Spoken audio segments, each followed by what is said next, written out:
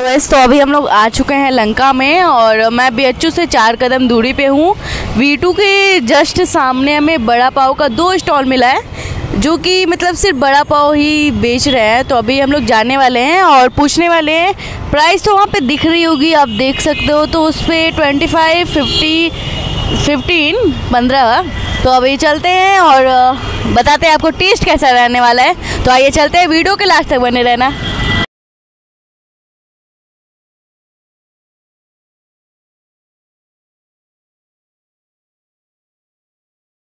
हमने डिसाइड कर लिया है कि हम यहाँ पे जाने वाले हैं तो आइए चलते हैं और भैया से बात करते हैं। थोड़ा सा संभल के चलना पड़ेगा यहाँ पे। यहाँ पे ये अ, बड़ा है ये इसे बड़ा बोलते हैं इसको फ्राई में भी उसमें करते हैं ना तेल में फ्राई करते हैं इसको। आलू की स्टफिंग है वहाँ पे आलू की स्टफिंग दिख रही होगी। तो और ये पाव है मोस्ट इंपॉर्टेंट और यहाँ पे मसाले वगैरह हैं। तो अभी भैया से बात करते थोड़ा सा ये बताएँगे कि कैसे बनता है और ये कब से ओपन है और सारी चीज़ें आपको बताई जाएँगी। तो अभी चलते भैया से बात करते हैं। हेलो भैया क्या नाम है आपका? हरिओम पास ओके ये कितने बजे से कितने बजे तक ओपन रहता है? तीन से दस। तीन से दस। आपने कितने टाइम से खोला हुआ है इसको? कितने टाइम से खुला हुआ है? हाँ? दो घंटे। अभी दो घंटे हुआ। अरे नहीं नहीं मैं वो नहीं पूछ रही मतलब मैं कितने सालों से खुला हुआ है ढाई साल हो गया। ढाई साल हो गया। तो भाई साहब ये ढाई साल से ओपन है तो यहाँ पे बड़ा है और ये बटर है ना? बटर वगैरह भी रहता है। प्राइस थोड़ा बताएँगे क्या प्राइस है? वैसे आपने लिखा है। पंद्रह रुपये में सादा है और पच्चीस रुपये में बटर है और पैंतीस रुपये में चीज़ बटर दोनों है। अच्छा। तो हमें पंद्रह वाला ही चाहिए।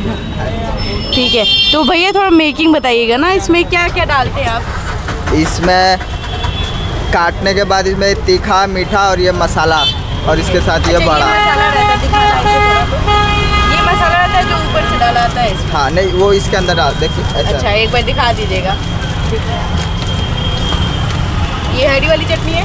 ये हरी वाली चटनी है और ये मीठी चटनी है और ये जो मसाला है ये स्पेशल रहता है। ये आप लोग की खुद की मेकिंग है कुछ हाँ। और ये बड़ा उसके बाद यहाँ पे सारी मेकिंग यहीं पे बनाई जाती है। ओके तो हमारा जो पंद्रह वाला है वो लगने वाला है। ऑलमोस्ट लग चुका है। दो मिनट भी नहीं लगे होंगे तो अभी इसको ट्राई करते हैं। अभी जा रहे हैं फ्राई करने के लिए तो मैं आपको दिखाती हूँ। इसमें आलू की स्टफिंग जो है वहाँ पे राउंड राउंड करके गोल गोल करके रखा हुआ है ताकि ज़्यादा टाइम ना लगे। और बेसन का ये इसे क्या बोलते हैं? बेसन का पेस्ट वगैरह। इसमें और भी कुछ मिला रहता है बेसन? हाँ इसमें नमक रहता है मीठा सोडा रहता है। ओके मीठा सोडा भी होता है क्या? यहाँ पे छोटे छोटे गोले गोले हैं जो डाल जा रहे हैं सीधा तेल में। बहुत ही देखने में सेटिस्फाइंग लग रहा है भाई। और क्लीनिंग पूरी मेंटेन कर रखी है। बहुत ज़्यादा ही अच्छा है। क्लीन है सारी चीज़ें आप देख सकते हो। भैया मिले हैं जो जिन्होंने बताया कि ये डेली खाते हैं तो भैया से टेस्ट पूछते हैं। भैया आपका नाम क्या पहले बताओ। मेरा अभिषेक मौर्य है। ओके। आकाश का स्टूडेंट हूँ। अच्छा। फ़िलहाल मैं हमेशा यहीं खाता हूँ। ओके। पंद्रह वाली खा रहे हैं? हाँ। टेस्ट कैसी लगी आपको? टेस्ट काफ़ी अच्छी है। मैं भी टेस्ट कर सकती हूँ। ये सब कोर्स और जो देख रहे हैं वो लोग?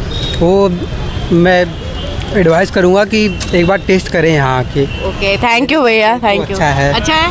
वेलकम हाँ, तो भैया को अच्छा लग रहा है तो हम भी अपना टेस्ट करने वाले हैं अभी। दे दीजिए। इसको लगा लेते हैं फिट कर लेते हैं थोड़ा सा।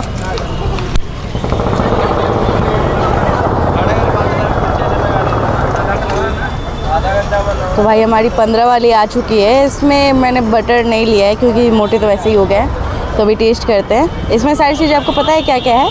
तो मैं ऐसे टेस्ट करती हूँ उसको।